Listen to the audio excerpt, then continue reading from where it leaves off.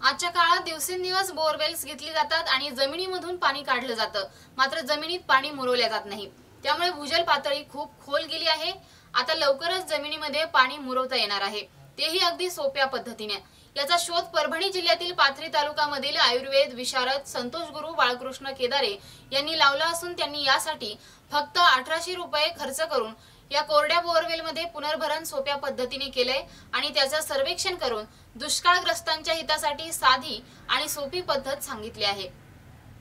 कोरड्या बोअरवेलमध्ये पुनर्भरण केल्याने आज सलग पाच तास मोटर चालत आहे. यावर्षी संपूर्ण महाराष्ट्रात अनेक जिल्ह्यांमध्ये दुष्काळाचं सावट निर्माण झालं आहे. आजच्या काळात दिवसेंदिवस बोरवेल्स घेतली जातात आणि जमिनीमधून पाणी काढलं जातं. मात्र जमिनीत पाणी मुरवलं जात नाही. त्यामुळे भूजल पातळी खूप खोल गेली आहे. आता लवकरच जमिनीत पाणी मुरवता येणार आहे आणि ते अगदी सोप्या पद्धतीने.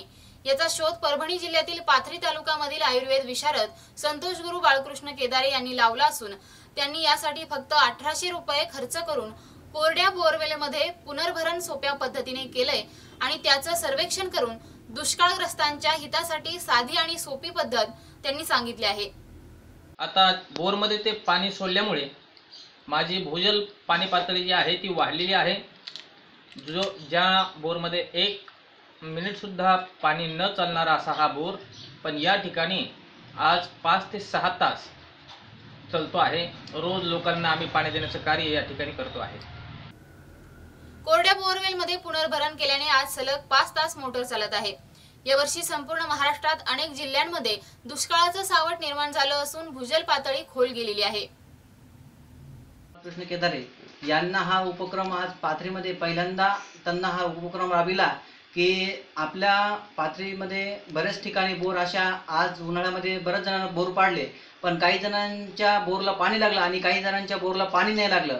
तर त्या बोरला पाणी नाही लागलं त्या बोर त्या बोरसाठी त्यांना ह्या फिल्टरचा वापर करावा आणि पुनर्भरणासाठी त्यांना ह्या फिल्टरला अं, पुनर्भरणासाठी त्यासाठी त्यांना फिल्टरचा वापर करावा. फुल फिल्टरचा वापर करावा आणि बऱ्याच अं, या फिल्टरचा वापर केल्यामुळं पाणी पातळी वाढल्या जाईल आणि त्यामुळे आपल्याला पाण्याची टंचाई भासणार नाही.